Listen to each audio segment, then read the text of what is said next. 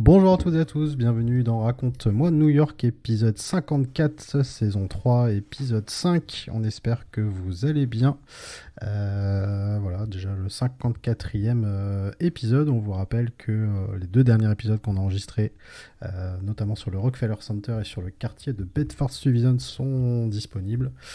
donc vous pouvez réécouter sur toutes les plateformes. On vous invite également à nous rejoindre sur les réseaux sociaux. Instagram, Twitter, enfin c'est plus Twitter maintenant, c'est X, bref.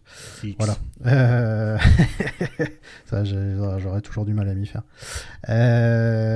Facebook également vous tapez Raconte-moi New York. Euh, n'hésitez pas à, vous envoyer, à nous envoyer pardon, vos messages et euh, nous y répondrons bien évidemment avec plaisir. Merci encore euh, de votre fidélité. mon cher Fabien est là. Salut Fabien. Salut JM, salut. désolé pour les, deux derniers épisodes, pour le, son pourri qui venait de, chez moi. on a eu un petit, un petit souci, ça, ça arrive. On reste que des amateurs, hein, donc faut pas nous en vouloir, ça arrive. Euh, ce soir, euh, bah, nous ne sommes euh, pas seuls puisque nous avons un invité et nous avons l'honneur de recevoir Lionel Gendron ce soir. Bonsoir Lionel. Salut, salut à tous. très content de t'avoir avec nous. Fabien également est très content parce que c'est lui qui, qui t'a amené vers nous. Donc euh, voilà, on sait que tu as écouté déjà des, épisodes. ça m'a amusé le dernier parce qu'en fait, euh, Bedford Stuyvesant, j'y ai passé le. Je reviendrai peut-être tout à l'heure, le dernier mois en fait, c'est pas là où j'habitais, mais le dernier mois, il a fallu que j'abandonne. Donc j'étais à Bed-Stuy, comme disent les. Ah, oui, bah... un quartier que je connaissais pas, ça m'a amusé d'écouter. Euh, ok. Bon, bah voilà. Euh, donc, qui euh, est revenu euh, en France, qui a vécu à New York pendant trois ans, correspondant pour, pour RTL, journaliste, qui a présenté donc une lettre d'Amérique pendant plus de deux ans, c'est ça? Bah, pendant trois ans, en fait. Pendant trois ans, ouais. Dès le début. ouais, dès le début. Ok. Euh, donc voilà, podcast du coup que vous pouvez retrouver bien sûr euh, sur euh, toutes les plateformes et vous pouvez effectivement écouter tous les épisodes, comme les nôtres d'ailleurs, voilà, depuis, depuis le début. Euh, on va se concentrer vraiment euh, bah, sur, notre, euh, sur notre invité du coup, donc on va pas faire de médias, surtout bon vu les news en ce moment, c'est pas très, c'est pas très gay, donc du coup on, préfère, on préfère passer les news. pourquoi pas glisser quelques médias d'ailleurs à la fin de, à la fin de l'épisode, j'en ai un d'ailleurs comme ça. on verra à la fin de, de l'épisode.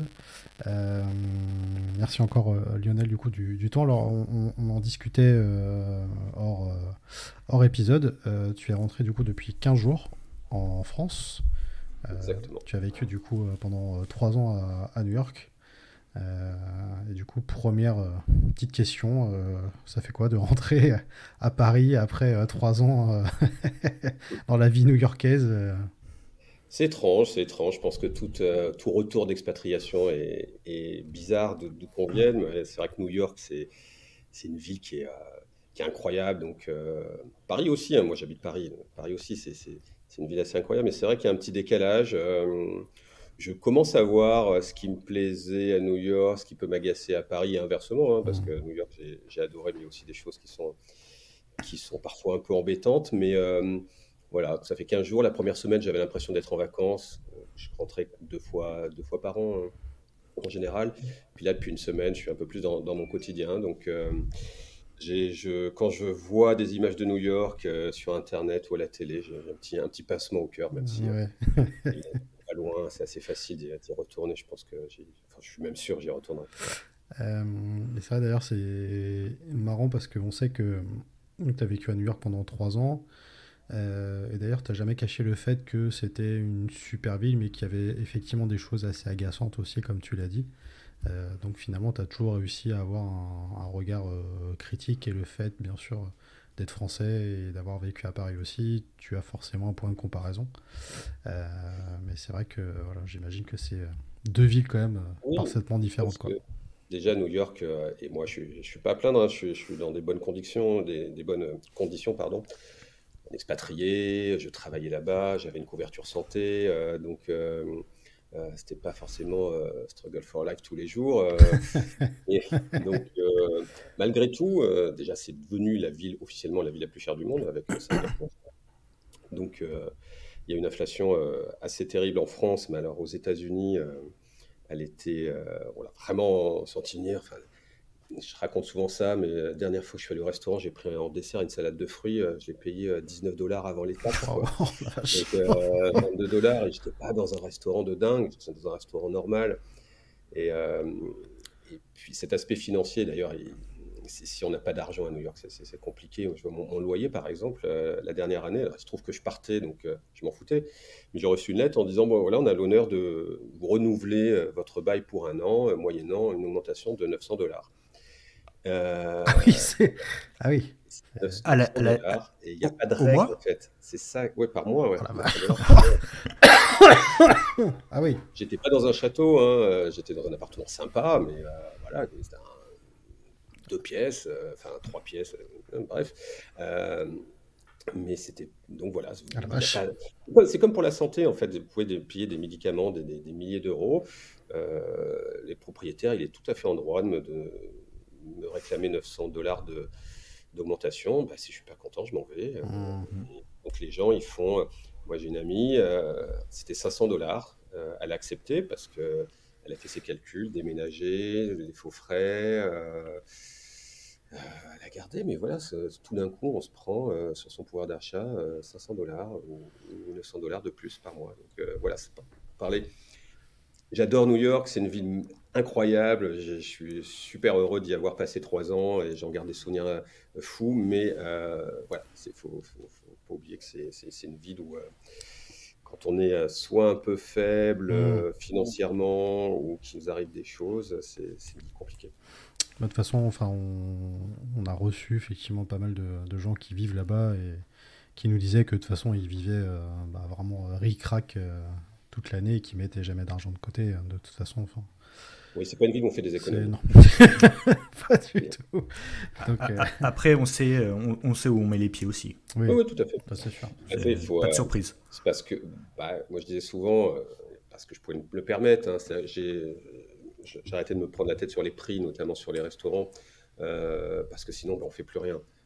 Après, j'y allais moins souvent qu'à Paris, par exemple. C'est-à-dire que c'est un budget. C'est c'est quelque chose qu'il faut intégrer. mais, comme tu dis, oui, on sait, très bien que New York c'est cher. Que, hmm.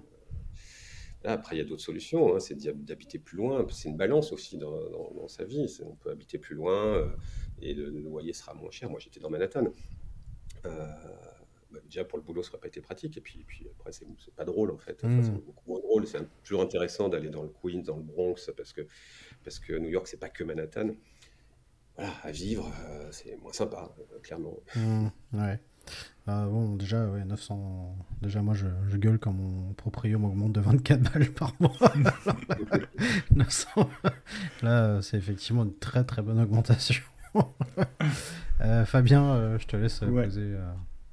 Ouais, donc, il me semble que tu es arrivé à New York en juillet ou à l'été 2020. En suis arrivé pandémie. le 7 septembre 2020. Ouais une arrivée à New York, on, s'en souvient. Alors je m'en souviens aussi parce que c'était le jour de la fête du travail, euh, euh, les Day, et, euh, et, déjà on était dans, en plein milieu du Covid, et c'était un jour férié, j'avais pas fait attention que c'était un jour férié, il ne faut pas regarder, New York était totalement désert. J'étais déjà allé évidemment, donc je connaissais le côté bouillonnant de New York, et là c'était... c'était pire qu'un 15 août, quoi. Donc, je me suis dit, voilà, qu'est-ce qui s'est passé? Euh, mais oui, je suis arrivé début septembre 2020. Et euh, euh, moi, je voulais savoir, c'était un poste que tu, que tu convoitais ou alors on te l'a proposé C'est un poste que j'avais un peu oublié, enfin qui me faisait rêver depuis longtemps, mais que j'avais un peu oublié parce que, en fait, moi, j'appartiens à la rédaction d'M6. Ouais. Et donc là, le poste, c'était euh, un poste RTLM6. Donc en fait, dans ces cas-là, les postes s'ouvrent dans les deux rédactions. Je l'avais oublié parce qu'en fait, euh, avant j'étais à TF1, il y avait un bureau euh, à TF1, un bureau à Washington, si ce n'avait pas de bureau aux États-Unis. Donc bon, me suis dit, voilà, c'est quelque chose que je fais d'autres choses. J'ai pas mal voyagé quand j'étais à la rédac, mais j'avais totalement oublié ce poste-là. Et puis quand M6 a racheté RTL, c'est pour ça que je raconte ça, parce que c'est pour ça que j'ai eu le poste en fait. M6 a racheté RTL, donc du coup, on a le droit, quand un poste s'ouvre, côté RTL, ben, M6 peut postuler. Quand un poste s'ouvre M6, mm. RTL peut postuler. Et en fait, le poste s'est ouvert pour remplacer Philippe Corbet à l'époque. Et, et j'ai postulé, et, euh, et, puis voilà, on était 10. Après, on a été, il y a une shortlist de 3 personnes. Euh, et, puis, et puis après, évidemment, ils m'ont choisi. Donc, euh, c'est pour ça que ça a été un peu le hasard, en fait. Il, y a, eu, il a fallu un, facteur économique, macroéconomique, qui m'échappait totalement, mmh. pour que je postule. Et puis après, voilà, j'ai eu des, des, vents, des vents favorables, sans doute. Mmh. Heureux hasard. Mais euh, et c'était euh, comment? Tu, tu, as postulé parce que c'était New York ou parce que c'était un poste à l'étranger pour vivre une expérience ou peut-être que tu as déjà vécu à l'étranger. Euh, j'ai vécu, oui, j'ai vécu à, six mois à Sarajevo. je, mais c'était la j'avais jamais vécu plus de six mois, donc j'avais pas mm. jamais fait une longue expatriation. donc ça, quoi qu'il se passe, à l'étranger, ça avait été euh, l'Allemagne, j'aurais postulé aussi. Euh, voilà, là, il se trouve que c'était le seul bureau dans notre groupe, euh, c'est le seul bureau, on va dire, pour un statutaire, sinon après, il y a des, il y a des pigistes. Moi, je, suis, je, suis, embauché, donc c'est le seul bureau pour quelqu'un d'embauché en CDI qui s'ouvrait. Et en plus, New York, voilà, ça c'était évidemment la, la, cerise sur le gâteau. D'ailleurs, au début, on ne savait pas trop si on c'était New York ou Washington. Traditionnellement, le bureau d'RTL était à New York on a envisagé Washington parce que ça peut se défendre aussi, notamment pour le côté télé. Euh, et finalement, on est resté sur, sur New York. Pas, pas pour me déplaire, j'adore Washington, mais c'est vrai que je préfère euh, y aller comme ça qui, qui vivre. Oui, parce qu'en plus, en septembre 2020, c'était bah, les élections. Oui, c'était la, fin, la fin de campagne. C'était la fin de campagne. Euh, c'est parce que bah, l'élection, c'était le 4 novembre, si je me souviens bien. C'est ça. Ouais, 3 je sais que les résultats ont été promulgués le 7, donc ça doit être le 3 ou le 4. Donc oui, on était en pleine campagne. Alors, heureusement, on était à deux parce qu'il y avait donc euh, Philippe était encore en poste, il est resté jusqu'après les élections, donc euh, pendant deux mois on était à deux, on a pu euh, couvrir. En plus une installation c'est un peu compliqué, on perd beaucoup de temps, il y a plein de plein d'administration à faire. Donc oui, tout de suite j'étais j'étais dans le bain. En plus Trump a eu le Covid, enfin il s'est passé pas mal de choses. La campagne était intéressante, elle était un peu compliquée à, couvrir parce que justement, il n'y avait pas de... Rassemblement, de meeting. Il y en avait un peu plus côté Trump, parce que bah, s'en foutait du Covid. Euh, mais euh, il n'y avait pas beaucoup de rassemblement de démocrates. Donc souvent, quand on fait des campagnes électorales, il y a quand même des meetings. C'est sait où aller. Là, il fallait chercher les gens. En plus, à l'époque, même les gens étaient un peu rétifs pour les interviews. Euh, j'étais obligé de prendre des perches. Euh, voilà, on était, encore dans une, dans une psychose à l'époque, enfin, psychose légitime d'ailleurs. Mais euh, voilà, c'était c'était une campagne très, très étrange. Très étrange. Et auparavant, tu avais déjà été à, New York à plusieurs reprises, donc tu connaissais déjà la ville et tu avais déjà un point de repère, enfin, des points de repère assez importants pour. Moi, je connaissais pas mal. J'ai, calculé euh, avant d'y aller. Je, crois que j'y suis allé dix fois euh, avant, euh, cinq fois perso et cinq fois pour le boulot. j'ai notamment les deux ou trois fois pour l'affaire DSK. ah oui. Ah oui. donc voilà, je suis allé faire, je suis allé courir le marathon aussi deux fois. donc non, c'est une ville que je connaissais, mais je connaissais pas pas si bien que ça en fait mmh. parce que on va toujours aux mêmes endroits, à Manhattan, un peu à Brooklyn, dans le nord de Brooklyn. Euh, et euh, évidemment, en général, quand on y va en vacances, euh, New York, c'est pour 5-6 jours. Donc on fait les passages obligés. Donc j'avais pas mal de points de repère. Si, si, j'avais pas mal de points de repère. Mais, mais c'est totalement différent. C'est normal, hein, c'est pas n'importe quelle ville, mais d'y aller en touriste. oui. Bah oui. C'est là où du coup tu peux voir les, les points forts et, et les points faibles euh, d'une ville encore plus, forcément. Ouais, et puis c'est assez sympa de se dire, euh, je me suis pas dit tout de suite, mais euh, se dire, je suis New-Yorkais. Au début, on y va un peu sur la pointe des pieds, on se sent un peu limite un peu touriste, et puis au bout d'un moment, c'est notre quotidien, on a nos repères, on sait où faire nos courses, on commence à avoir des amis locaux. donc ça, ça vient notre ville et puis on, oublie presque, parfois on oublie qu'on est à New York parce qu'on a notre taf on a des journées parfois fatigantes ou peu. Puis de temps en temps, on revient d'une soirée, on a un taxi, on voit la skyline, on ah ouais, c'est vrai que je suis à, New York. Euh, ça en impose, ça en impose toujours, même quand on, y est toute l'année. Et, les bureaux de RTL se, trouvent où? En fait, tu, l'as déjà dit dans les podcasts, mais non, c'est, euh, euh, c'est, en fait c'est dans notre appartement en fait. Donc il y a une partie de l'appartement qui est qui est dédié qui est dédié au bureau RTL. donc moi en l'occurrence, la première année c'était Hell's Kitchen, enfin Hell's Kitchen côté Hudson. Mm dans, une tour. Euh, j'étais au, 25e étage. C'était vraiment le côté, le cliché de, New York, mais le bon cliché. C'est-à-dire que j'avais euh, un appartement en baie vitrée euh, qui donnait d'un côté sur l'Hudson, de l'autre côté sur, sur la skyline de Times Square. donc c'était super. C'était l'avantage, un des seuls avantages du Covid, c'est que comme beaucoup de New Yorkais étaient partis, les appartements étaient pas chers. donc j'avais pu trouver un, un appartement qui d'habitude ordinaire valait peut-être deux fois le prix euh, que j'ai payé. Euh, et après, les deux, les deux années suivantes, j'étais euh, Upper West Side, au niveau de la 72e. Pour ceux qui connaissent un peu New York, c'était j'étais à côté du Dakota Building, en fait. Donc, là où John Lennon a été tué, au milieu de Central Park, à peu près. J'étais tout près de tout près de Central Park. C'est un quartier très chouette, Upper West Side. J'aime beaucoup, ouais. Mm. Vas-y, je te laisse poser euh, ta petite question. Euh, attends, je, je... on va peut-être commencer les questions. Ah bah oui, parce qu'on en a eu. On en a eu. Euh, alors déjà, il y a déjà un compliment. Il y a Frédéric qui nous dit pas de questions, mais simplement lui dire que c'est le meilleur pour raconter les US. Voilà, simplement. Eh ben, merci Frédéric, ça fait toujours plaisir. Voilà. C'était marrant parce que quand je suis parti, en fait, je recevais déjà des messages, mais quand, quand je suis parti, ai reçu vraiment beaucoup et euh, euh, je ne me rendais pas compte. Je savais que c'était écouté, mais euh, on se rend pas forcément compte quand on le fait. Et c'était vraiment sympa les, les messages que, que j'ai reçus après. Hmm. Donc je, bah, profite pour remercier. Moi, j'avais commencé à écouter à l'époque, c'était Philippe Corbet. J'appréciais le format. Et hmm.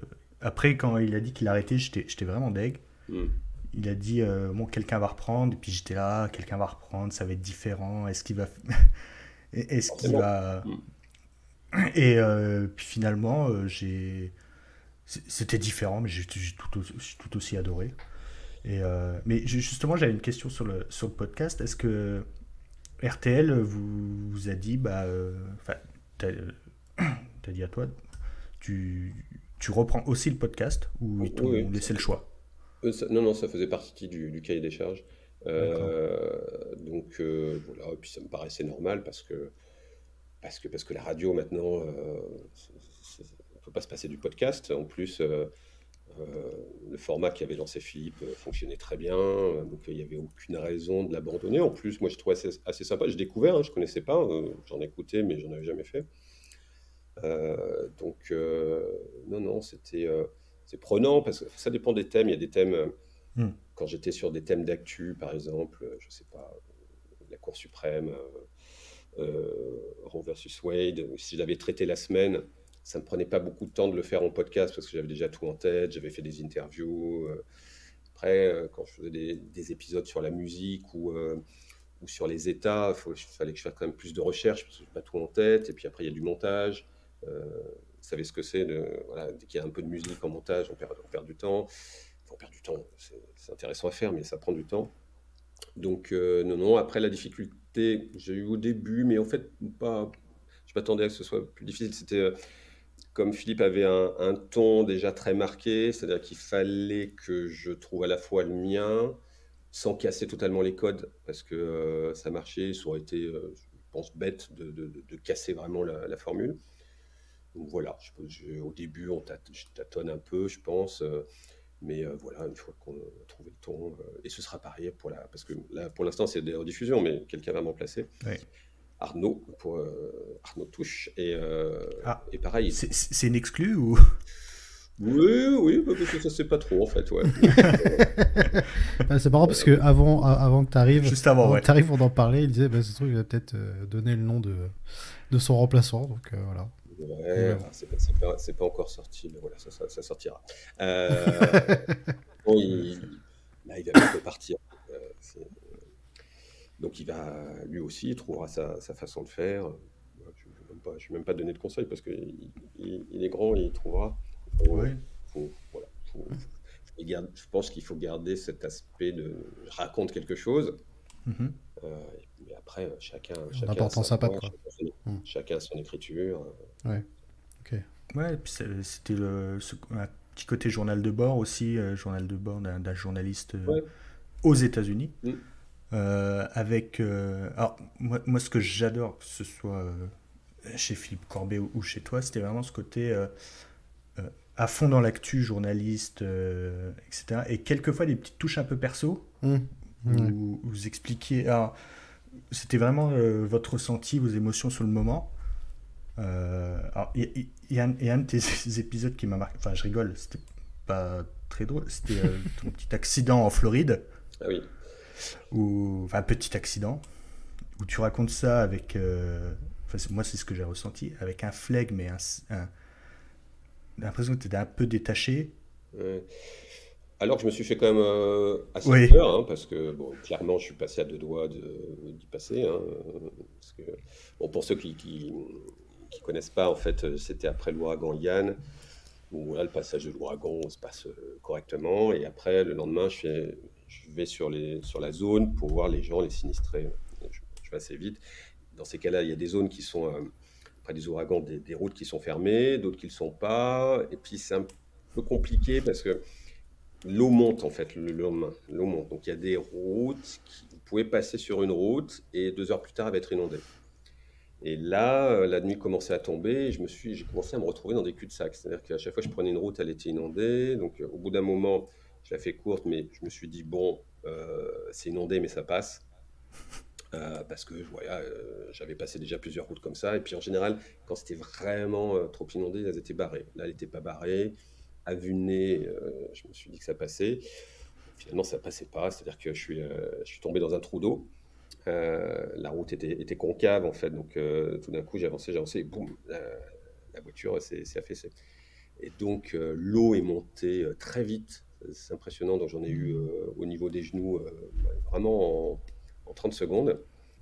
Euh, je pouvais plus ouvrir la portière parce qu'avec la pression de l'eau euh, impossible. La fenêtre ne s'ouvrait pas. L'eau continuait à monter. Là, je commence à me faire peur. Finalement, la fenêtre s'est ouverte. Bah, je ne sais pas trop comment. Peut-être que j'ai appuyé sur le mauvais bouton, je sais rien. Et je suis monté sur le toit de la voiture et, et puis l'eau, la voiture a coulé. J'ai plongé. Enfin, j'avais pas, pas le choix en fait. Euh, donc oui, après, je le racontais. euh, je me souviens quand je l'ai raconté, je dû le faire deux, deux, trois jours après. Ouais. J'avais plus rien en plus. J'avais juste mon téléphone. J'ai enregistré avec mon téléphone. Donc je l'ai fait vraiment euh, en live. Il y a des podcasts où je prends des notes quand même un peu plus. Là, là, j'avais pas de notes. Euh, mais oui, parce que du flame, je sais pas. Alors déjà, j'ai j'ai fait pas mal de terrain de guerre, donc j'ai- j'ai- je suis habitué à des, des situations un peu, un peu dangereuses. Puis surtout, euh, je m'en sors bien, quoi. Donc euh, j'étais- Ouais. voilà, je pense qu'il y avait le côté aussi, j'étais soulagé, quoi. Ouais, c'est- l'épisode-là, il m'a marqué, mais euh, et justement, parlant d'épisodes marquants, euh, en trois ans, tu as vécu beaucoup de choses aux États-Unis. Tu as parlé, euh, de la Cour suprême, il y a eu les élections présidentielles. Euh, bon, là, on sort, on sort un, petit, un petit peu de New York, mais c'était aussi ton travail euh, Mhm. euh, pendant ces trois ans. C'est quel a été le moment le plus, euh, on va dire, le plus, euh, plus émou- le plus dur, le plus émouvant que tu, que tu aies dû couvrir? Hum, Alors, le plus euh, émouvant, on va dire, de façon positive, Positive, ouais. je- je- après je dirais de façon, on va dire, négative, mais c'est le décollage, j'ai fait un décollage à Cape Canaveral. Un vol SpaceX avec Thomas Pesquet, et c'était assez dingue. C'est-à-dire que, en fait, quand j'y allais, quand j'y suis allé, je me dis, ah, c'est sympa, je vais faire un décollage, j'en ai jamais fait. euh. J'étais content, mais je me suis dit, bon. Euh, et en fait, c'est totalement dingue. C'est-à-dire que, en plus, quand on est comme ça, en journaliste, on est vraiment au plus près. Enfin, il y a la zone de blast, on est vraiment à l'extérieur de la zone de blast, on ne peut pas être plus près, en fait. Donc, on ressent vraiment, euh, euh, dans votre corps, quoi, dans les tripes, ça vibre, et puis on voit ça, ça il part dans l'espace. Enfin, c'est m'a vraiment fait un, effet que j'imaginais pas. après, dans les, les, choses plus tristes, bah, je suis allé, je ne sais pas si vous vous souvenez, mais c'était en février 2021. Il y a eu une vague de froid au Texas. Exactement. où il y a eu plus en tête, mais il y a eu facile 40, 60 morts, quelque chose comme ça. Euh, bah, parce qu'au Texas, ils n'ont pas l'habitude de gérer ces vagues de froid, et puis en plus, ça a été terrible. Et là, j'y suis allé, et puis deux, trois jours plus tard, j'ai fait un reportage avec une, une américaine que j'ai vue dans un centre de distribution alimentaire. Et, euh, Je me souviens de Et j'ai passé, euh, j'ai passé la journée avec elle. Et ah, souvent, on a du mal, à, dans les reportages, que ce soit en France ou à, ou à l'étranger, à toucher un peu la misère des gens. Euh, parce, que, parce que ça va vite, parce qu'on n'y arrive pas. Puis là, c'était vraiment le hasard. Et, voilà, et euh, quand j'ai passé la journée avec elle, j'ai vraiment vu ce que c'était, en fait, euh, en France aussi, hein, mais ce que c'était d'être pauvre aux États-Unis, c'est-à-dire sa, canette de coca, elle dure trois jours. Euh, elle peut pas se laver les cheveux parce que parce qu'elle peut pas acheter de shampoing. elle était toute seule dans une espèce de petite cabane au fond d'un jardin. Et elle était vraiment touchante. Donc euh, voilà, ça c'est un, une personne que je, dont je vais me souvenir, je pense. J'ai réécouté cet épisode il n'y a pas longtemps. Il, me semble. Après, ce qui était aussi intéressant euh, dans ce que tu faisais, c'est que finalement, tu avais euh, cette expérience et la connaissance aussi des, des États-Unis, pas que New York, mais comme tu disais tout à l'heure, Fabien, en, ayant un peu ce regard euh, bah, de français, un peu regard extérieur. Euh. donc c'est vrai qu'il y a souvent eu des, petites anecdotes euh, quand même assez, assez marrantes souvent. Donc c'était ça aussi qui faisait que. Oui, puis c'est l'intérêt. Puis moi, je connais les États-Unis, mais je suis pas non plus. plein de choses que je suis arrivé, plein de choses que je connaissais pas des États-Unis. Donc je trouve ce qui était intéressant, notamment dans le podcast, pour mon travail de, de journaliste au quotidien, c'est différent parce qu'on on est là pour rapporter des, faits.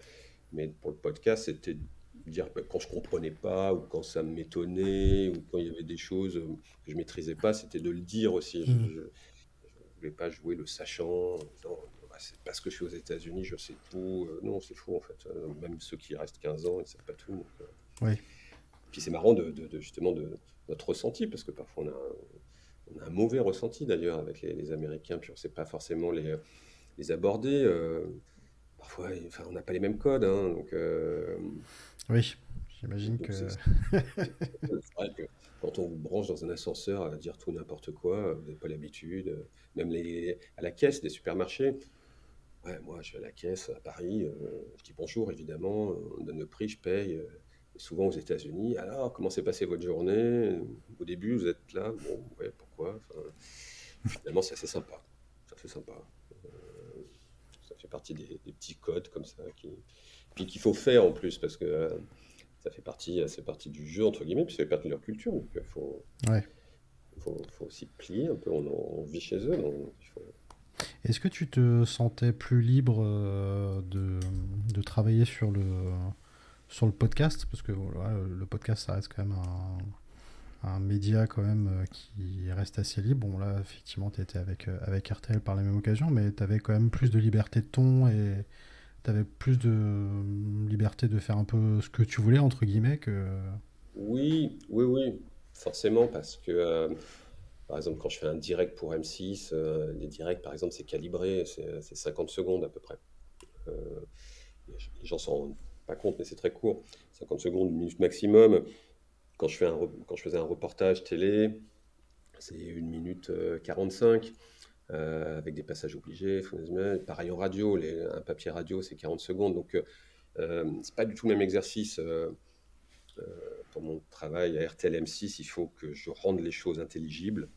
je n'ai pas besoin d'être exhaustif d'ailleurs, parce qu'en 40 secondes, on ne peut pas être exhaustif. Je choisis un angle et j'essaie de, de, faire comprendre l'intérêt aux Français. Euh, voilà, sur le podcast, euh, j'ai 15, 17, 20 minutes, euh, je fais, je fais ce que je veux. Je faisais même ce que je veux sur les, sur les thèmes. dans l'actu, en fait, déjà l'actu, elle s'impose à moi souvent. C'est-à-dire qu'il bah, y a une tornade, il y a une tornade, j'y vais. Trump passe devant la justice, il passe devant la justice. Donc il y a des actus. Après, il y a des actus qu'on va chercher. On fait des propositions qui ne sont pas forcément dans, dans l'actu, mais, on est contraint dans, dans l'actu podcast.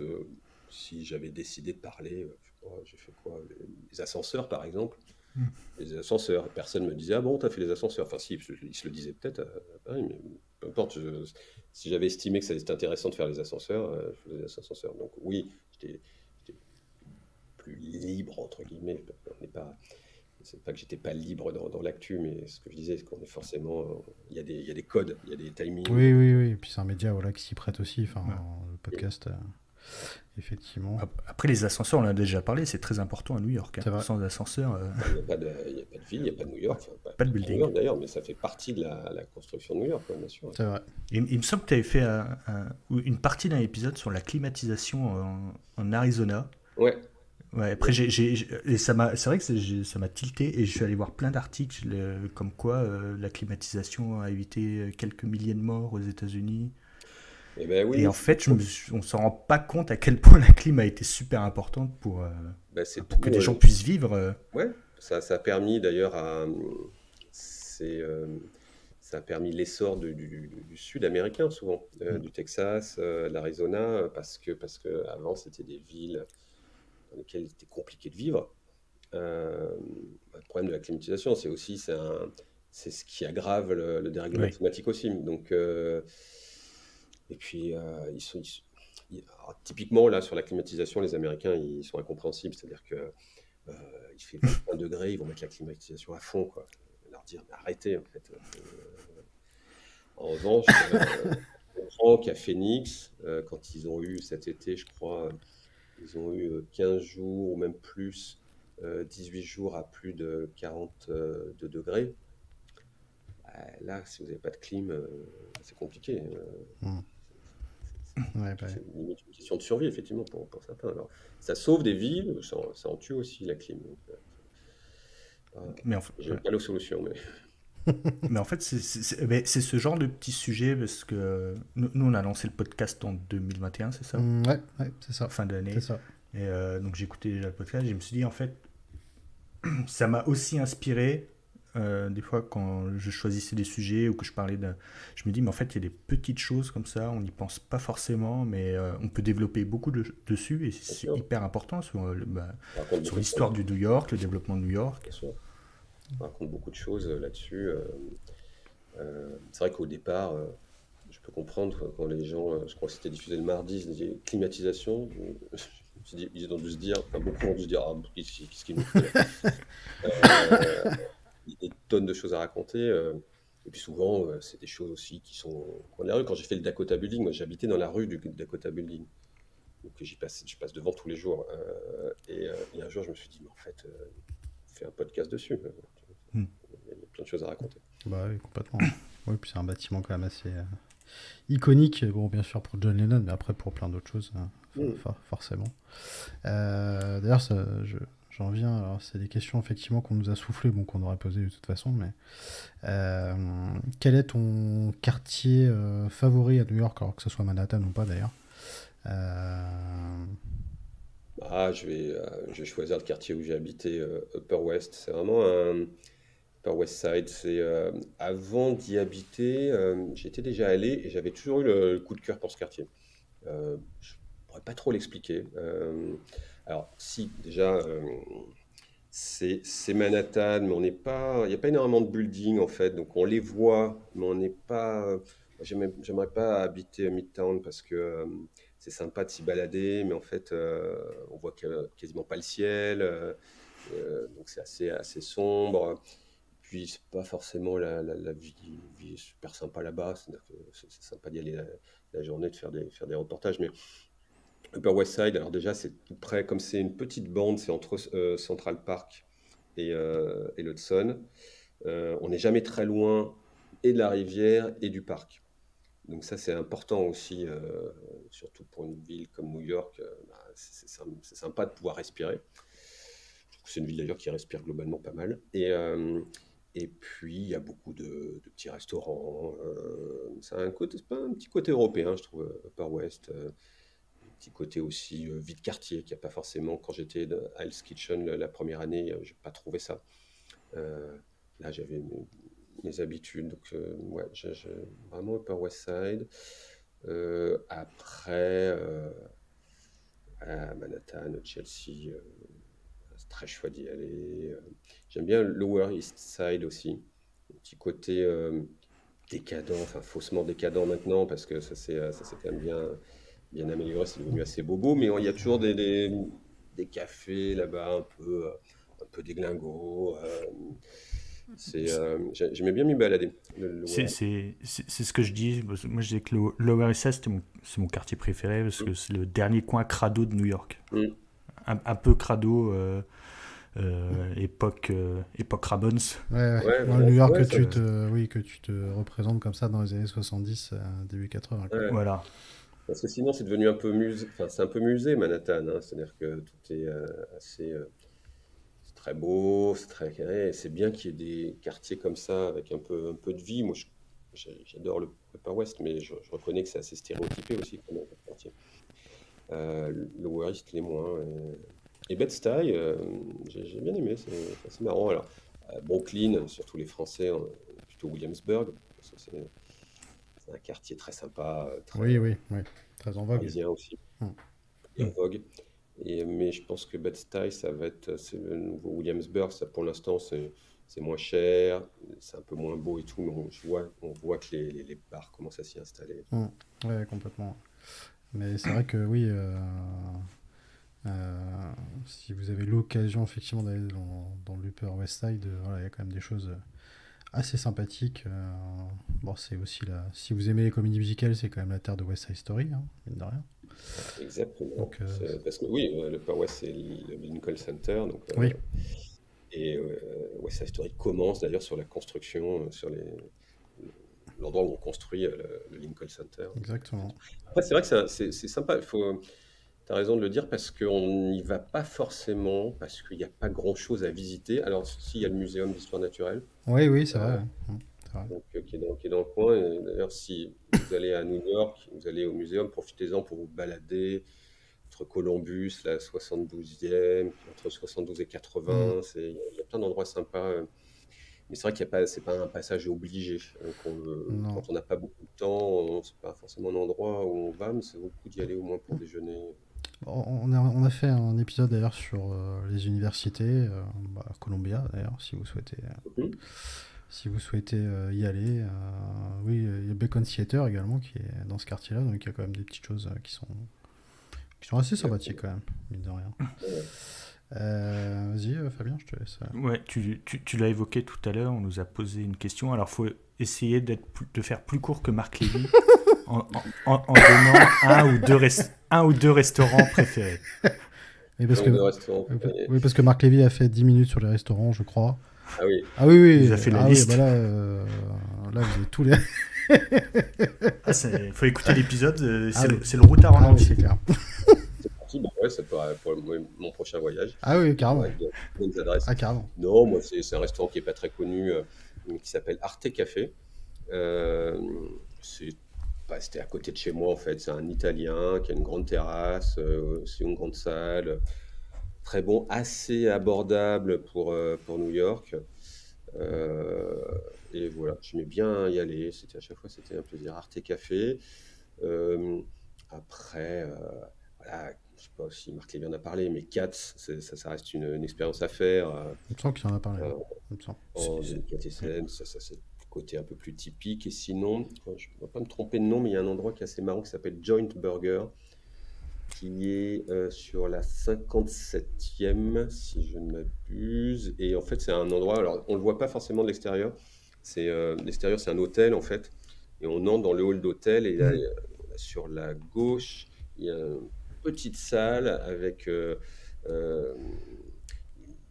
des, décorations partout, des photos d'artistes et tout, et des très bons burgers. C'est devenu une adresse qui est assez, euh, assez courue. Il faut mieux y aller à midi maximum parce qu'après, il y a. Donc, euh... ouais, mais je crois que plus court. Ah bah c'est bien, c'est bien, ah oui, c'est bien. plus, plus, court, parce que si on n'avait pas arrêté, euh, on y sera encore. Et on a enregistré au mois de janvier. C'est vrai, voilà. Marc Lévy qu'on salue. Qu'on salue. Euh, t'as pas, pas fait une petite dédicace à, à Anne Hidalgo, tiens, dans cet épisode Anne Hidalgo, euh, Anne Hidalgo Valérie Pécresse, si, si, si, si elle nous écoute. Euh. Je rien. Je me rends compte que Paris, effectivement, est, par rapport à New York, est effectivement un peu plus sale, mais je me faisais la, réflexion, c'est que, oui, bon, on peut toujours dire que c'est la mairie, mais je pense que bah, c'est peut-être les Parisiens aussi qui. Oui, aussi. Oui, ça, c'est sûr. Ça, des efforts à faire. Ça, ça, moi, je vois en bas de chez moi, là, il y avait, euh, je voyais deux enfin, trois bouteilles d'eau qui traînaient, enfin, je sais pas quoi. Et ça faisait deux jours que c'était là. Bon, ben, personne ne les ramasse. Bon, au bout d'un moment, j'y suis allé, je les ai ramassés. Mmh. Euh, mais, euh, mais c'est quand même fou. Quoi. Bon, bref. Non, non. Oh, de toute façon, les Français sont pas très propres quand même. Hein. Ouais, je sais pas, mais c'est vrai qu'à New York, des, des mères de chiens, ça n'arrive pas. Mmh. Bah, oui, oui, non, mais oui. oui. Je sais qu'il y a des chiens à New York. Je, je pense, il y a beaucoup de chiens. Il y a beaucoup de chiens. Ouais, il y a beaucoup de chiens. Là, ils ont des parcs d'ailleurs à eux. Hein. Ouais. Ah oui, il y a des dog parks. D'ailleurs, c'est marrant parce que euh, il y a des dog parks avec, notamment, il y en a avec des. Euh, ils le divisent en deux, le dog park. Vous avez euh, pour les gros chiens et pour les petits chiens. Ils les mélangent pas. J'avais vu ça. Il y, a, il y, a, un système de double, de double clôture. Mm faire comme un petit sas, comme ça, si le chien arrive à sortir par la, porte, ben non, il est toujours. Euh, non, ils sont totalement dingues avec les, chiens, c'est marrant. Hein, euh, ils dépensent un argent, il y a des... beaucoup de choses sont faites pour les chiens, mais effectivement, euh, on ne verra jamais les crottes de chien sur les trottoirs. Ouais, c'est vrai que oui, contrairement à Paris, pas qu'à Paris, hein, Nantes 3, je, je pense que c'est pareil pour toi aussi. Hein. On a un excellent maire qui fait un excellent boulot. Ah oui, d'accord. Je pourrais pas en dire autant. Euh, quel est... à, vous, à, vous, de savoir si c'était ironique ou pas. Te connaissant. Mais il m'a dit qu'il avait du retard et voilà. ah oui. il a encore quelques épisodes. oui, bah oui euh, normal. Bah, il faut qu'il rattrape son retard.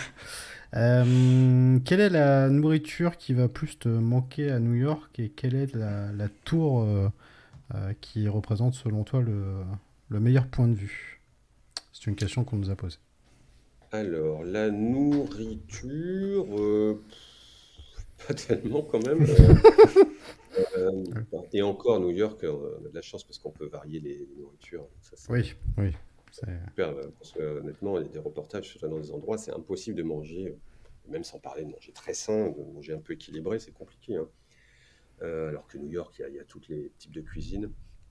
Qu'est-ce que j'aimais bien euh, me manquer honnêtement euh, Ouais, alors s'il il y a des très bons bagels à côté de chez moi, bagels au saumon, mais c'est pareil, on en trouve ça, mais le, magasin où je les, les achetais était vraiment très bon, donc ça, ce, ce bagel au saumon pourra me manquer. Euh, après, je, cherche quand même dans, des choses typiquement américaines qui pourraient, qui pourraient me manquer. Non, pas tant que ça, parce que maintenant les nourritures américaines, en fait, on les a aussi en France. Oui, bah oui, oui c'est vrai. vrai. oh, puis bon, t'es revenu en France, niveau nourriture, on est pas mal ici. oui, oui, non, non, c'est plutôt des choses qui me manquaient quand j'étais aux États-Unis, euh, niveau, nourriture. Mais euh, en fait, c'était varié, la, nourriture est assez variée à New York, pour ça c'est bien. Donc, j'ai pas de les magasins, les supermarchés sont, sont amusants, ça, pourrait me manquer. un bah. Je me fais un podcast d'ailleurs dessus, je ne l'ai pas fait. Ça sera une autre question aussi. Bah, tiens, le magasin, on nous a posé aussi. Euh, ton magasin aussi. Euh.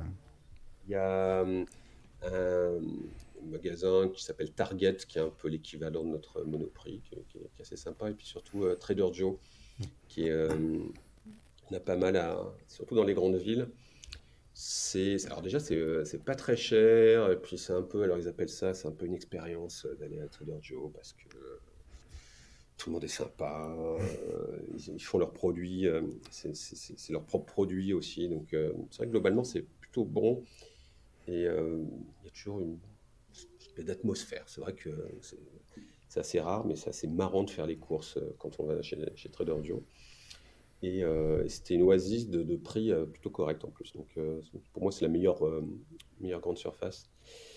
Et il y avait une autre question. la tour qui représente selon toi le meilleur point de vue, enfin là où tu aimais regarder New York d'en haut. Ouais, moi je conseille le, Rockefeller. Ah. On est d'accord.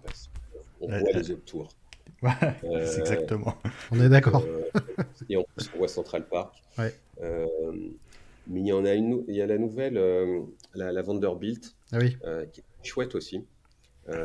parce qu'on a une super vue aussi sur Central Park. Et puis on a la, la Chrysler au pied. Hmm. Elle est à côté de la Chrysler, qui pour moi est la plus belle. Euh, euh, et, on l'a vraiment. je suis d'accord, il, il, a raison, euh, Lionel. Je suis d'accord. On l'a vraiment assez pieds. Oui, sur les, sur les tours, il y a toujours. Donc, en plus, c'est une des dernières. Elle a été ouverte au mois de, enfin, en 2021, je crois. Ouais, ouais, elle n'est pas encore tellement connue, la Vanderbilt, mais elle, vaut le coup. Ok, ok, ok. Ouais, vous savez quoi les, vos tours préférés? Ah bah, Moi, c'est ouais, Chrysler pour le coup. Euh, euh, dans, dans, le combat Chrysler Empire, moi je suis plus Team Empire, mm. mais ma tour préférée c'est le Woolworth Building. Ouais, ouais c'est sympa aussi. Reste un homme de goût, hein, Fabien, de toute façon. c'est mon chouchou. c'est mon chouchou. Mais en plus, dans, dans l'épisode du Chrysler, euh, il me semble, c'était au tout début qu'on avait fait le Chrysler Building, et parce que j'avais dit toutes les décos du Chrysler Building ont été faites pour euh, les tours aux alentours. Donc c'était super intéressant de monter justement dans cette tour pour voir les, toutes les décos de plus près. Parce que finalement, au pied, au pied, il n'y a rien. Non, puis c'est compliqué parce qu'on n'a pas de, on n'a pas de recul aussi, donc euh, mm. c'est pas, très intéressant. ça, ça va. Ouais, ça, ça, pour avoir un recul là-dessus, c'est pas, pas spécialement facile. Il y a quand même une question qu'on est obligé de te poser. Euh, qui est hyper importante. Toi, je sais, je sais, je sais. Je, te vois, Fabien, à la caméra, je sais exactement. Euh, tu sais la question que je vais poser. Est-ce que tu aimes euh, Times Square ou pas du tout? Euh, Non. J'aime pas. Alors, euh, ça peut peut-être faire snob de dire ça, mais c'est un peu. c'est un peu comme les Champs-Élysées quand on est parisien, c'est-à-dire qu'on n'y va pas en fait à Times Square. Ouais. Alors évidemment qu'il faut y aller, enfin il faut connaître parce que parce que c'est le centre de New York et puis c'est une des images de New York. Mais euh, moi, euh, j'habitais surtout la première année, j'habitais à côté. Euh, quand j'avais des visites, parce que quand on est à New York, on a pas mal de visites, hein, mm. forcément. Et au bout d'un moment, je disais Times Square, c'est tout droit. Hein, allez là-bas, euh, je vous regarde. Et puis... Ouais, voilà, euh, je vais bien faire d'autres choses, mais, mais Times Square, j'en avais, euh, avais ras-le-bol. Donc, non, après, oui, c'est du folklore, c'est Broadway aussi. ouais, évidemment. D'ailleurs, Fabien, il m'est venu une petite idée comme ça, parce que on sera obligé de faire un épisode dessus, tu le sais. Ouais, on le retarde. On le retarde à chaque fois, mais ça serait intéressant qu'on ait une de nos auditrices ou auditeurs qui aime Times Square et qui vient nous raconter pourquoi elle aime Times Square. Parce que là, ouais, j'étais en train de penser avec tous les invités qu'on a eus. Euh, bah, tout le monde dit le plus diplomate, encore, on en revient à lui, mais c'était Marc Lévy, mm. qui nous avait dit non, mais il faut y aller le matin vers 5-6 heures du matin. Très tôt quand il n'y a personne. Et quand il y a des gens bourrés, c'est vrai, exact. Allez voir les gens bourrés. Mais. C'est un... c'est un point de vue qui peut se défendre, effectivement. Non, mais à euh, Times Square, en même temps, c'est une des images de New York. voilà, bah, évidemment. Mais du coup, non, non, mais ça peut être intéressant qu'on fasse un épisode comme ça. Donc, euh, le, on, va, lancer un appel. Parce que Times, d'ailleurs. Bah, bien sûr, oui, bah, évidemment. Mais euh, du coup, non, non, voilà, on lance l'appel. Si vous êtes intéressé par cet épisode, eh ben, on serait ravis effectivement de le faire avec vous et que vous défendiez entre guillemets votre point de vue parce que vous avez le droit bien sûr d'aimer Times Square évidemment.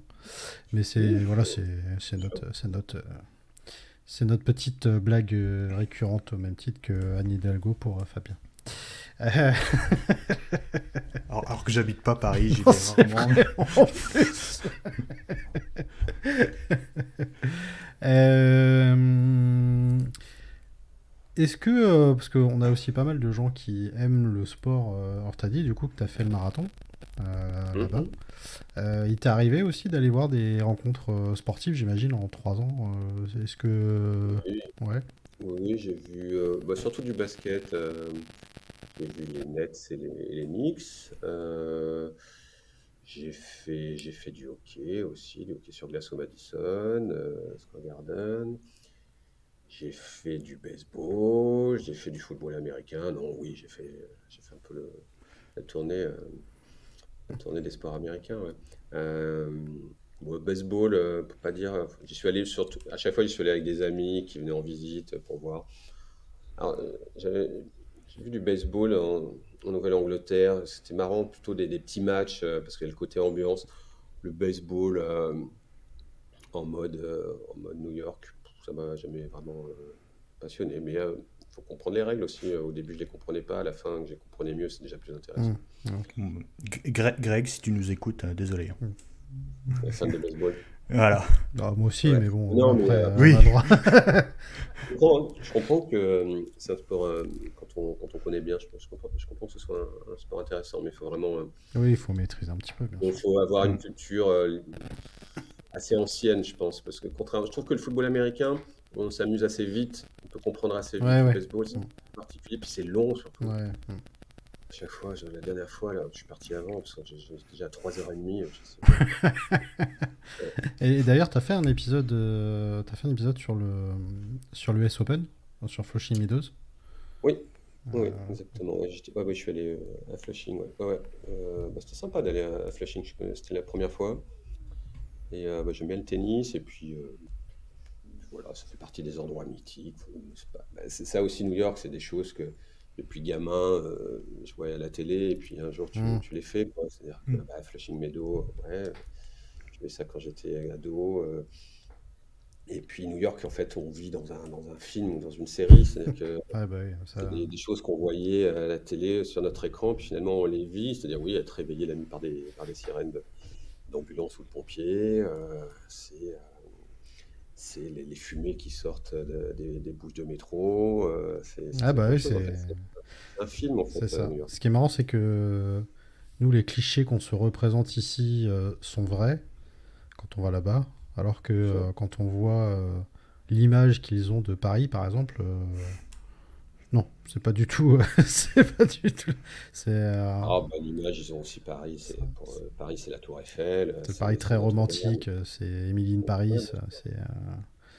j'ai mon, Ouais. j'ai mon beau-frère il y a pas très longtemps qui a été à Las Vegas et puis ils ont recréé un quartier entre guillemets de Paris qui est très. oh, Bah qui oui, fait- voilà, c'est qui, voilà, qui, bon, qui, voilà, fait pas. Et du coup, il me disait, je, je, je comprends un peu mieux quand euh, ils débarquent à Paris et qu'ils ont cette image euh, là-bas de, de Las Vegas. Et puis quand ils arrivent à Paris, forcément, là, ils sont pas. C'est pas qu'ils sont déçus, mais en tout cas, ils se représentent pas tout à fait ça comme ça. Donc c'est plutôt, C'est- plutôt assez drôle. Les Français se- sont plus terre à terre dans leurs clichés. hein. C'est- C'est vrai. C'est vrai. On, on idéalise C'est moins. pas faux. Ouais, c'est possible. Après Paris, c'est vrai que c'est euh, bon quand ils viennent. Je sais pas s'ils sont déçus parce que quand même c'est vrai que c'est s'ils font les passages c'est comme New York si, si on fait euh, Oui, bah évidemment, bien sûr. Times Square, Central Park, euh, deux trois tours, euh, l'Hudson et puis euh, la Statue de la Liberté, on n'est pas déçus quoi. Non, c'est sûr, c'est sûr. Ça va. Mm. Ça va. Effectivement. Et à Paris, s'ils font euh, Montmartre, les Champs-Élysées, euh, le Panthéon et euh, Saint-Germain, pareil. Oui, bah, C'est oui. bien, ce qui est bien aussi dans les, dans les voyages, euh, notamment quand on quand on n'a pas trop le temps, c'est qu'on fait que les quartiers sympas. Alors, le désavantage, je le vois, j'habite à côté de Montmartre, euh, donc euh, c'est que du coup, euh, tout le monde se retrouve Mm. bosser, c'est bondé. quoi. donc, souvent, le, le tourisme, d'ailleurs, est plus sympa l'hiver, moi, je trouve, parce que parce que parce qu'il y, y a moins il y a moins de monde quand on peut, c'est plutôt sympa. Ouais, c'est vrai, effectivement. J'imagine aussi que tu as été voir, bah, forcément, c'est une ville aussi de, de musique, et Tu as été voir aussi, tu as été dans des salles euh, mythiques, que ce soit des salles de jazz ou Madison, t'en as parlé pour le sport, mais Ouais. peut-être que tu as fait en musique. mais- concert aussi. euh, J'ai vu notamment, il y avait Stromae, euh, j'ai vu Stromae en, Ah ouais, en concert, Ouais. c'était marrant. Il a fait deux, deux soirs quand même, il a rempli euh, Madison deux soirs, je ça m'a étonné, je ne pensais pas. Voilà, j'ai vu Elton John aussi qui est en résidence là-bas. Euh, et puis oui, dans des petites, euh, des petites boîtes euh, de jazz, ça arrivait. Je n'ai pas fait tant que ça d'ailleurs. pas forcément quelque chose que je. je... D'ailleurs, je, je, je me souvenir d'une fois, mais euh, j'ai pas dû en faire beaucoup plus. ouais. C'est pas forcément quelque chose que j'allais chercher à New York en fait. Mhm. Ok. Euh, à tort, hein, ça peut être très bien, hein, mais non, c'était plutôt, je faisais plus des, des théâtres. Ah oui, ouais. Soit Broadway ou off-Broadway, plutôt des, des pièces, plein de choses intéressantes. Donc, ouais, c'était plutôt ça. Mm. Cinéma aussi, ça m'amusait d'aller au cinéma, je trouve. À New York, les salles sont, sont marrantes. sont- Ouais, ok. Euh, Notamment, on peut s'allonger. On peut quasiment être euh, Mm. Ah oui, pas mal de salles. On, peut- on est en position allongée, on peut quasiment dormir. C'est ok. c'est marrant. C'est dangereux ça. Moi je m'endors. hein. Oui, il vaut mieux que le film soit. Oui, ça... ça dépend des Et films que tu vas voir. L'occasion, alors ça dépend des films, c'est l'occasion de payer sa place 35 dollars aussi. Ah oui, oui, bah ça... déjà que ici euh, c'est pas donné, alors 35 dollars, oui, effectivement, ça pique un petit peu, effectivement. Effectivement. Est-ce que tu avais euh, d'autres questions, euh, mon cher Euh, non, j'en avais pas noté. Alors Après, j'ai évidemment j'ai un milliard de questions, mais sur les États-Unis en général. Donc, euh, euh, je- quand, quand on lancera, raconte-moi l'Amérique. Peut-être qu'on t'invitera à Non, nouveau. mais sur New York, euh, non, bah, voilà. Non, non, mais c'est c'est chouette que vous fassiez ça parce que je pense qu'effectivement, euh, bah, New York, ça parle à tout le monde, euh, même si on n'y est pas allé, en fait, tout le monde a la Bah, bien sûr. hein. New York. Et c'est une bonne idée de, de- de faire ce podcast. Mais, mais du coup, euh, qu'est-ce que tu as le moins aimé là-bas, du coup, parce que tu parlais des choses agaçantes en début de podcast. Qu'est-ce que tu as moins aimé euh, dans les choses que tu as pu voir euh, que nous on se représente comme ça en France en disant waouh ça a l'air génial, puis au final pff, pas tant que ça. Bon Times Square évidemment, mais euh, entre autres. Mais voilà, qu'est-ce que s'il y a vraiment des choses dérangeantes euh, là-bas Bah, il y a le côté, et ça s'est amélioré avec le Obamacare, mais le côté inégalité sur la santé quand même assez. moi, j'ai discuté avec des gens qui, qui avaient peur d'aller chez le médecin parce que parce qu'ils avaient peur de la facture. Et c'est vrai que moi, j'avais une bonne assurance santé, mais même quand on y va pour des choses bénignes, je ne pas beaucoup aller euh, chez le médecin là-bas, mais euh, vous pensez avoir tout payé, et puis finalement, ils vous renvoient une facture, vous savez jamais. Et puis, euh, en fait, parfois, il faut négocier. J'ai un, j'ai un pote, il s'est fait opérer du dos là-bas, on lui a, on lui a mis euh, 10 000, euh, 12 000 dollars de facture. Et finalement, il y a une loi où on peut contester les factures d'opération, en fait, sauf qu'il faut, la connaître. Puis les gens qui n'ont pas forcément d'argent, pas beaucoup d'éducation, ils la connaissent pas. Donc en fait, là-dessus, c'est un peu... euh, En fait, on peut s'en... euh, voilà, c'est un bon exemple parce que on peut la contester, euh, on peut contester ces factures, sauf que les gens ne sont pas forcément au courant. Donc il y a des gens, ils vont s'endetter, euh, ils vont se retrouver à la rue parce que euh, parce qu'un jour on leur a mis 10 000 dollars de, de facture de santé et du coup bah, ils vont pas chez le médecin parce qu'ils ont peur de ça et puis ça rigole pas quand on a des dettes là-bas. Donc euh, non non ça euh, dans les choses à, à New York sinon j'ai rien à New York honnêtement j'ai vu très peu de négatifs. hmm. Ouais, Là, il y a des quartiers qui sont, qui sont plus durs, mais c'est dans n'importe quelle ville au monde. bien Euh, sûr. Mais pour moi, c'est la ville un peu, un peu magique, euh, New York. euh. Ouais, bah Ouais, oui, on a souvent tendance à dire que c'est pas réellement l'Amérique, quoi. C'est voilà, c'est. New York, quoi. Non, les Américains peuvent être un peu. Non, c'est pas l'Amérique d'ailleurs. C'est vrai. Si, vous restez à New York, moi, c'est pour ça que je, en reportage, je- j'essaie de- de- d'en partir parce que parce que parce que c'est pas c'est pas les États-Unis. Et puis puis même d'ailleurs les, les Américains, euh, Texas ou je dis Texas, mais ça peut être d'autres d'autres États. Parfois ils aiment pas. Enfin souvent ils aiment pas New York. C'est pour eux c'est un Mhm. autre monde. New York, Washington, c'est euh, c'est autre chose. C'est autre chose pour eux. euh, c'est pas c'est pas leur valeur. euh, D'ailleurs, c'est- c'est en partie l'opposition démocrate-républicain. Ouais, bien sûr. très démocrates. Oui, bien Il y sûr. a 80 par Staten Island, euh, qui est plutôt conservateur. Et sinon, je crois que ça a voté 85% Biden. Mm. euh, dans, certains, dans certains arrondissements, c'est 90. Donc, euh, non, c'est des îlots, euh, des îlots importants, hein, à 8 millions de personnes. Mais euh, non, juste pour répondre à la question, qu'est-ce qui peut être chiant c'est- Les Américains sont pas forcément faciles d'accès. Ils sont très sympas comme ça. c'est- ça, il y a beaucoup de gens qui le disent aussi. Mais c'est vrai que c'est pas évident de, s'en faire des relations durables.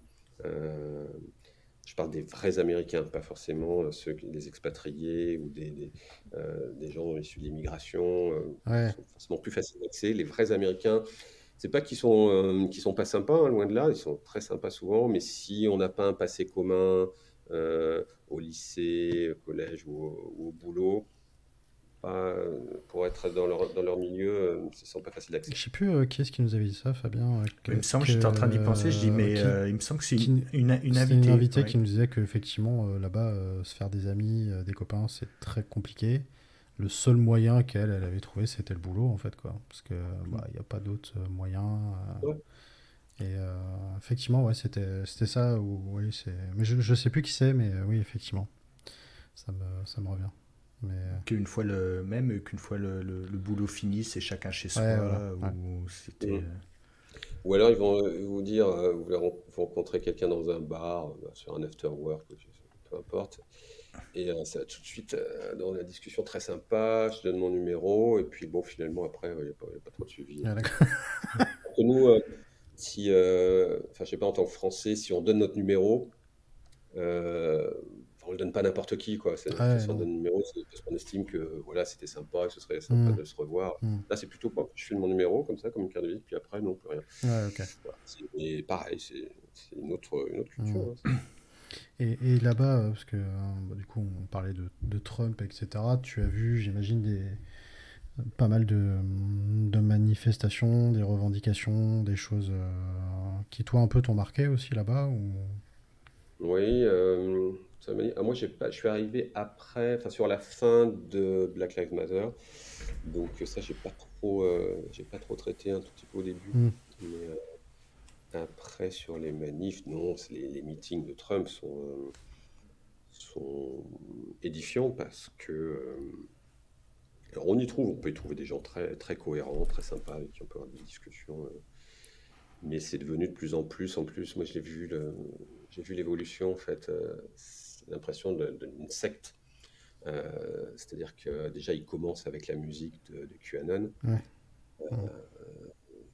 la musique qui est utilisée par, euh, par QAnon. Il a la même, euh, la même façon de, de, s'exprimer, côté très évangélique. Alors c'est calculé, hein, parce que c'est, il est tout sauf bête.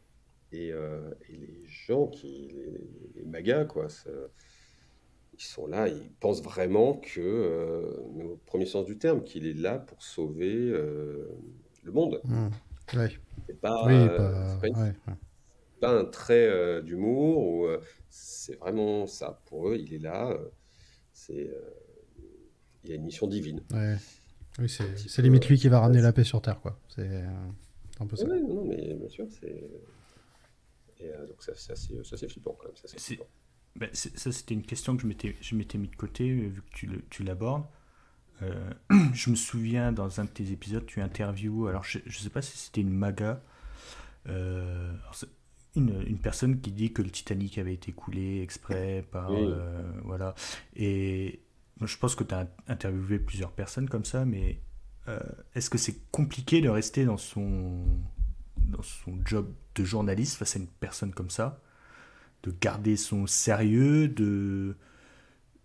Est-ce qu'on n'a pas envie de lui répondre euh, Non, parce que en fait, ça ne sert certainement à rien. C'est-à-dire que vous n'avez pas argumenté sur quelqu'un euh, qui pense que euh, Titanic, c'est une conspiration euh, ouais, c'est, oui. démocrate, que, mm. que, que Hillary Clinton est à la tête d'un réseau pédophile sataniste. Et puis même, j'ai arrêté d'en faire aussi des, des, sons comme ça parce que tout le monde a droit à la parole, donc j'en ai fait, j'en ai diffusé, mais au bout d'un moment euh, je me suis dit, euh, ça sert à rien parce que, euh, ah oui, c'est efficace. Je parle ça, ça, marque. Ça, marque, c'est-à-dire qu'on entend ça, ah, c'est incroyable. Mmh. Sauf que j'aurais pu le faire à chaque fois. donc, il faut mmh. équilibrer aussi qui on donne la parole. donc, eux, ils ont le droit de dire. quand c'est totalement farfelu, à un moment, il faut, aussi retenir. Voilà, faut pas, faut pas participer au, complot, c'est-à-dire que, encore une fois, moi, je suis pas là pour pour museler euh, les paroles. Surtout les Américains, c'est pas ça change. C'est pas parce que euh, un média français en dira plus ou moins que ça, ça va changer quelque chose, mais faut pas, faut pas le faire pour que ce soit facile en fait. Euh, donc voilà, donc non, c'est pas très compliqué. Après, même dans les, dans, les meetings de Trump, parfois, tu avais des gens qui, étaient, qui sont intéressants. Enfin, tout le monde n'était pas, n'était pas aussi extrême. Et puis les meetings, au final, je me suis rendu compte que c'est c'est une fausse bonne idée. Enfin, c'est important de les faire, mais il ne faut pas faire que ça parce que dans les meetings, on a justement les gens les plus, euh, les plus extrêmes. Hmm. Et, euh, les, les- ceux qui votent pour Trump, quand même pratiquement la moitié des États-Unis qui a voté pour lui. Donc, euh, Hmm. il n'y a pas que des gens qui pensent que le Titanic a, a été coulé par, par les démocrates. Euh, donc, c'est des gens aussi euh, qui, qui ont peur parce que parce que parce que euh, ils ont peur de l'immigration, parce qu'ils sont ils sont appauvris et qu'ils pensent que que Trump peut les aider. euh. Oui, ils sont voilà, ça, dans c'est- une chose, situation ça, c'est, on va dire assez classique. Mm. Euh, tout ce qui est conspiration, Oui, oui. pas, pas grand chose à faire. Enfin, puis, puis sur- sur- surtout, ça ne sert à rien de. Oui, c'est un débat, oui, oui, oui. Bon, après, des conspirationnistes, euh, on en a aussi hein, ici, euh, beaucoup. Donc, Oui, euh, partout. J'étais à l'attaque du Capitole.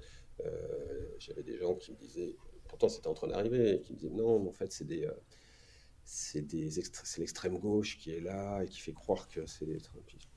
oui, oui, oui. Et d'accord, très bien. Oui, oui, bon, après. Ah, tu, tu- tu- tu étais sur place le, c'était le 7 janvier, c'est ça? Euh, c'était le 6, ouais. Le 6 Euh, attends, j'ai un doute. Oui, non, c'est genre. Pourquoi j'ai un Attaque doute? du 6, je sais plus. Non, le 16 non, le 7. euh, Attends, je vais pas dire une bêtise quand même, parce que. Alors voilà, fait- c'est quelque chose que j'ai dit à peu près 40 fois, peut-être 100, et là, C'est toujours comme ça. en même temps. Non, c'est- Euh, c'était le 6, c'était- il y avait un meeting. euh, euh, 6 janvier. 6 janvier. Ah, 6 janvier, d'accord. Ouais. Ouais, j'ai- ouais, j'étais. euh, Bah ouais, voilà. Bon, après, ça, je pense que tout a été dit sur, le- sur l'attaque du Capitole, mais. Ouais. Ouais, mais. euh, Mais cette année, et- oui, quand on parlait d'événements marquants, évidemment, c'est un des événements marquants. Ouais. Je n'étais pas à l'intérieur, moi. C'est-à-dire qu'il y, a- il y a quelques journalistes que- que- qui sont rentrés, qui sont retrouvés dans, dans la foule, mais moi, pour, plein de raisons, aussi parce que je devais faire euh, d'autres choses en même temps, euh, j'étais euh, j'étais à l'extérieur, sur les marches, quoi, j'étais pas dans, dans le Capitole. Donc j'imagine que quand tu faisais des événements euh, comme ça assez marquants, quand tu rentrais à New York, euh, j'imagine que ça te faisait du bien de rentrer un peu, non Ouais, ouais, Ouais. Ouais. Puis en plus là, euh, alors non seulement c'était triste, triste pour la américaine, mais en plus euh, j'ai crevé, j'avais fait trois, trois jours sans, sans pratiquement dormir, enfin j'étais épuisé, quand je suis arrivé à New York, j'étais content. Mmh, ouais. Et Ça, c'est- ça joue aussi, euh, l'état physique, on va dire. C'est quelque chose aussi qu'on souvent qu'on pose aussi comme question, parce que souvent les gens qui vont à New York aussi ont été ailleurs aux États-Unis. Euh, Est-ce que tu as à peu près une même ville que tu mets sur, le- alors peut-être pas sur, sur le même plan, mais une autre ville aussi qui te, voilà, qui t'a euh, énormément plu, tu te dis ouais, bon, pourquoi pas, euh, je me verrais bien vivre là, ou. Euh, hors New York? Ouais, hors New York, ouais. ouais, euh, Boston. ouais, ben non. Ouais, beaucoup Boston, très agréable, qui a un bon compromis aussi, je trouve. Mhm. Euh, donc voilà, Chicago, euh, Chicago aussi, mais je connais pas l'hiver et je, euh, je- à chaque fois j'y suis allé plutôt dans des périodes favorables et je crois que l'hiver est compliqué. Ça pique un peu, ouais. Mmh, Ouais. ouais. Donc euh, ouais, voilà, si je devais en citer une, ce serait Boston. Ouais. On, on dit que c'est la ville la plus européenne Ouais, c'est peut-être pour ça aussi. États-Unis. Bah, après, on est forcément attiré par les choses qu'on connaît. Ouais. euh, Euh, c'est vrai qu'en général, les villes qui reviennent souvent, euh, bon, hors euh, Californie, Los Angeles, machin, tout ça, souvent c'est Philadelphie et Boston, souvent qui reviennent dans les villes, en tout cas. Ouais, parce que les villes, il y a, hum, il y a en Arizona, Phoenix qui est, qui est sympa, mais c'est pareil, c'est l'été, c'est compliqué, Mhm. donc voilà, c'est les extrêmes, les, les chaleurs ou les froids extrêmes, ce- maintenant ça compte en fait, et, euh, et aussi les, les catastrophes climatiques. C'est qu'en Californie, il y a pas mal de gens qui, qui, euh, qui sont partis parce qu'ils en avaient marre de vivre soit les incendies, euh, soit les inondations, ça, ça joue. Ouais, on le voit d'année en année, quoi. Ouais. Ok. Euh, je sais pas si tu avais d'autres questions, Fabien ou... Bah, moi j'avais des questions, parce qu'on on arrive sur la fin. Mm. Euh, si tu avais euh, un conseil à donner à, un futur expat à New York et, et euh, ou un futur journaliste euh, Un futur expat, euh, c'est de prendre les choses. euh, en fait, on- ils sont un peu moins pressés que nous. Euh, mais c'est assez efficace et on ne le voit pas tout de suite. Ne faut pas, faut pas s'énerver en fait sur euh, les démarches administratives, quand on achète des produits. En fait, tout est assez, assez bien pensé. On peut toujours euh, échanger. Ils trouvent assez facilement une solution. Donc euh, voilà, si vous dites qu'il n'y a pas de solution, c'est que bah, sur le moment, il n'y en a pas, mais que mais la plupart du temps, il y en il aura. Donc il faut rester euh, assez cool avec eux. C'est quand même globalement euh, assez bien foutu. Euh, et euh, pour un futur journaliste, euh, en fait, c'est de... il suffit de regarder quoi. Ce qui se passe, euh, il y a toujours des choses.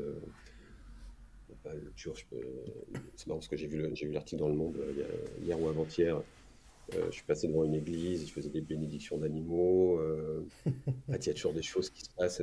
Et surtout, euh, n'y a pas d'évidence. Parfois, on se dit Ah, bah ouais, ça c'est vrai que c'est pas mal, euh, mais peut-être ça n'intéresse pas. En fait, si, il y a- il y a- aux États-Unis, quasiment tout intéresse. En fait. Mm. Euh, il faut pas se, il faut pas s'auto-censurer. euh, Il y, a il y a des tonnes d'histoires. Moi, parfois, on me disait Ah, mais comment tu fais pour trouver des idées sur le podcast? Je dis, Alors, Des idées pour le podcast, euh, euh, j'en ai pour 50 ans. Enfin, ça, Ouais, c'est- bah, c'est ce que- hein, c'est- ce que nous disait Marc Lévy aussi. hein. Enfin, pour un écrivain euh, là-bas, euh, bah, il, Ouais. il a fait des romans d'ailleurs avec euh, des personnes qui croisaient dans le métro, voilà, enfin des choses comme ça. hein. Donc, euh, Ouais, J'imagine, moi j'ai pas de, de talent de, de romancier, mais euh, ça m'est arrivé, j'habitais à côté de Central Park et ça m'arrivait parfois d'aller bouquiner là-bas, euh, de regarder les gens, et en fait, il n'y a qu'en regardant, on trouve des, Mm. enfin, on imagine des histoires, hein, mais j'imagine qu'il a fait ça. après, il faut faire fonctionner son imagination. Donc, non, non, c'est un peu le paradis du journaliste, enfin, on va dire sur, sur les idées. Après, c'est compliqué parce que si on veut s'installer en indépendant, euh, je disais, c'est cher. euh, voilà, c'est pas, c'est pas évident. euh, si on n'est pas, on part pas en expat pour une boîte, Hmm. partir en indépendant, c'est, Ouais, compliqué. le coût fait que c'est compliqué. Après, c'est vrai que, euh, en revanche, il y a quasiment, on est au plein emploi, donc euh, il y a, il y a des boulots, pas forcément des boulots, euh, boulots qu'on veut, boulots qui, qui payent, qui payent suffisamment pour vivre à New York. Ouais. Un, un balancier. quoi. Et euh, du coup, là, tu es rentré en France, donc à, à Paris. Est-ce que euh, euh, dans le futur, tu vas repartir euh, vivre ailleurs ou tu sais pas spécialement ou t'as pas de... Pas prévu à court terme, mais, mais, mais ça m'a, donné des envies. Donc, Ouais. voilà. Est-ce que ce sera aux États-Unis? Je sais pas. J'aime bien l'Allemagne aussi. Mhm. Euh, euh, je sais pas. J'aime, j'aime- j'aime- Continent africain, j'aime bien aussi. Je, moi, pour l'instant, j'ai envie de rester en France, mais, euh, Oui. mais euh, Oh, tu t'interdis pas de repartir. grosse expatriation et j'ai, on va dire, j'ai fait une expatriation euh, euh, golden. quoi. C'est vrai que Hmm. Ouais. New York, c'est Ouais. On peut ne pas aimer, hein. Moi, j'ai des gens, je connais des gens qui, qui- enfin, en tout cas, qui me disent jamais j'y habiterai. Je connais personne qui m'a dit qu'il n'aimait pas New York sur 4-5 Mm. jours. Mm. Euh, mais euh, des gens qui pour rien au monde j'y habiterai. Ouais, ouais, bien sûr, oui. Oui, ça m'est déjà arrivé aussi d'avoir des, des gens aussi, oui, comme ça, qui se voient pas vivre. euh. Bah, moi, c'est pas, c'est absolument pas mon rêve d'aller vivre à New York, par exemple. Mm. Pourtant, euh, j'adore cette vie. On, on a un podcast sur New York. euh, je, je lis sur New York, je, je regarde Ouais. tout ce que je peux sur New York, mais c'est- y vivre, c'est pas mon rêve. Ouais, c'est différent. Puis d'ailleurs, ça peut casser le rêve. Hein. Moi, j'ai pas été déçu, mais, euh, mais ça peut arriver aussi, hein, parce que c'est, c'est... Bien sûr, ouais, c'est vrai. Qui, qui partent. euh, Je discutais avec une caissière d'ailleurs qui me disait ça. Elle me dit la première année, elle voulait partir, elle pleurait tous les jours, elle aimait pas. Ouais, non, mais oui, c'est sûr que. Je pense qu'il faut pas trop, trop l'idéaliser non plus, quoi. Voilà, ça le, c'est ça le truc. Effectivement. Euh, En tout cas, merci beaucoup, euh, Lionel, Eh bien, merci à vous. de nous avoir accordé de, de ton temps. Euh, je sais pas- C'est je sais- pas si tu avais un. bon, je te prends peut-être un peu de cours, mais un média à nous recommander, euh, une série, un film, euh, un album, euh, en rapport avec, euh, avec New York? Par rapport avec New York, Euh, oui, il y a un podcast que j'aimais bien, vous connaissez peut-être, qui s'appelle euh, Bowery Boys. Mmh. Ouais, j'ai écouté euh, hier encore leur dernier épisode. Et c'est vraiment c'est une mine. En plus, ils en sont à je sais pas combien de centaines d'épisodes, donc ils prennent vraiment. déjà, ils ont fait quasiment tous les quartiers, c'est très historique. Ils peuvent aussi prendre, par exemple, c'est une bonne idée de podcast d'ailleurs, les taxis, les taxis jaunes pour leur histoire. c'est un très bon podcast, alors c'est en anglais. Euh, mais euh, c'est un très bon podcast sur New York. Euh, voilà. J'aime bien, alors ça n'a rien à voir, mais moi je regarde la, la, série The Morning Show. Ah bah J'allais en parler. je trouve que c'est, ça rend bien New York aussi. Alors c'est une vision un peu fantasmée de New York parce qu'ils sont dans des très beaux appartements, mais je trouve que c'est bien, New York est bien filmé. Ouais, c'est vrai. C'est vrai, c'est vrai. Bah, oui, j'allais du coup en parler parce que oui, il y a la troisième saison qui vient d'arriver sur, sur Apple Plus après quand même pas mal de, de temps euh, entre la saison 2 et la, et la, saison 3 et du coup euh, voilà, la mm. saison 3 euh, vient, vient d'arriver. C'est vrai que tu as raison effectivement le New York qui est dedans voilà on sent que ouais on sent que c'est le vrai New York quoi. C'est l'avantage. Je sais pas si t'avais un petit média toi Fabien là pas? Alors, le film que je recommande tous les deux épisodes, mon pour moi le film euh, euh, où New York est le mieux représenté, c'est Die Hard. Ouais, Une journée en enfer. En fait, pour moi, une journée en enfer euh, est à New York ce que le Piège de cristal est, hmm. et, au film de Noël, quoi. C'est. ouais, non, c'est vrai, vrai, que c'est plutôt, plutôt, plutôt, plutôt vrai. Ouais, ouais. c'est vrai, effectivement. Ça m'a donné envie de le, le, remater d'ailleurs.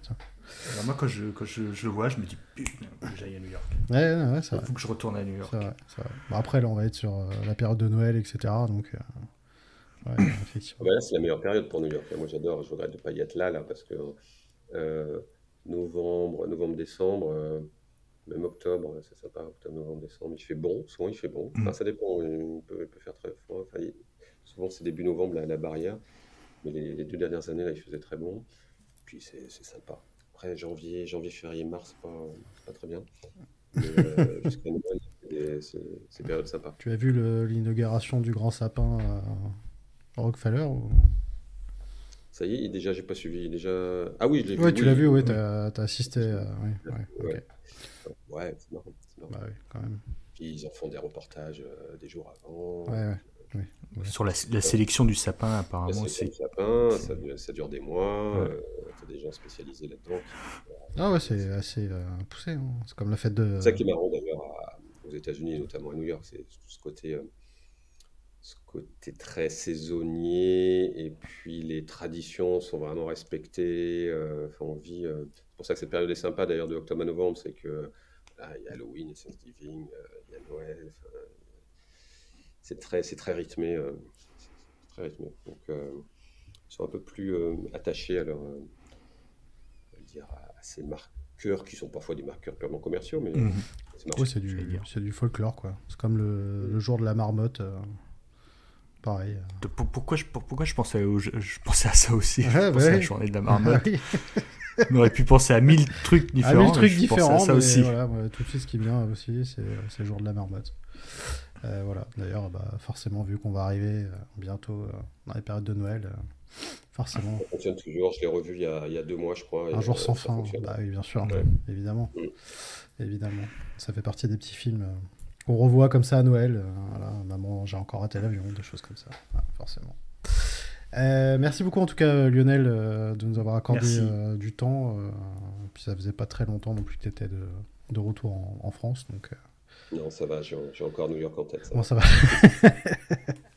Bah, merci à vous. Bah, merci beaucoup, merci beaucoup. Et puis, euh, bah, pour réécouter euh, du coup les, les épisodes, euh, ils sont tous, tous dispo de toute façon. Et puis, parce qu'on nous a posé la question, est-ce que le podcast va continuer? Oui, il va continuer du coup avec une nouvelle personne. Mais voilà, du coup, le, je ne peux pas te donner date précise, mais a priori, début novembre, je me mouille pas trop dans, 15, jours, 3 semaines, il devrait y avoir des, épisodes inédits. Voilà, bon bah voilà, une lettre, euh, une lettre euh, d'Amérique du coup sur euh, toutes les plateformes. Merci beaucoup en tout cas Lionel. Mon cher Fabien, merci beaucoup. Merci à toi, merci JM, merci Lionel. Voilà. Comme d'habitude, on n'a pas de, de thème à vous donner pour le prochain épisode, mais vous inquiétez pas. Voilà, Non. ça- Je suis perdu. Oh si j'ai des petites idées, mais bon voilà, ça vient euh, comme ça au fur et à mesure.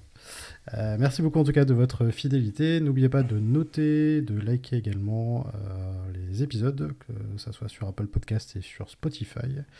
Et puis bah, n'hésitez pas à nous envoyer également vos messages, euh, puisqu'on répond à tous les messages bien sûr. Pareil aussi si vous souhaitez nous envoyer vos photos de New York aussi pour qu'on puisse les poster, les diffuser aussi. Voilà, c'est quelque chose qu'on aime bien faire. Et je relance l'appel pour venir faire un épisode spécial Times Square, euh, si vous aimez Times Square, on recherche quelqu'un qui aime Times Square, ou des personnes d'ailleurs, euh, voilà, qui viennent un peu euh, nous dire pourquoi ils aiment ce quartier et ce qu'ils en connaissent. Merci beaucoup, à bientôt, et puis merci encore une fois Lionel. Ciao ciao. Salut.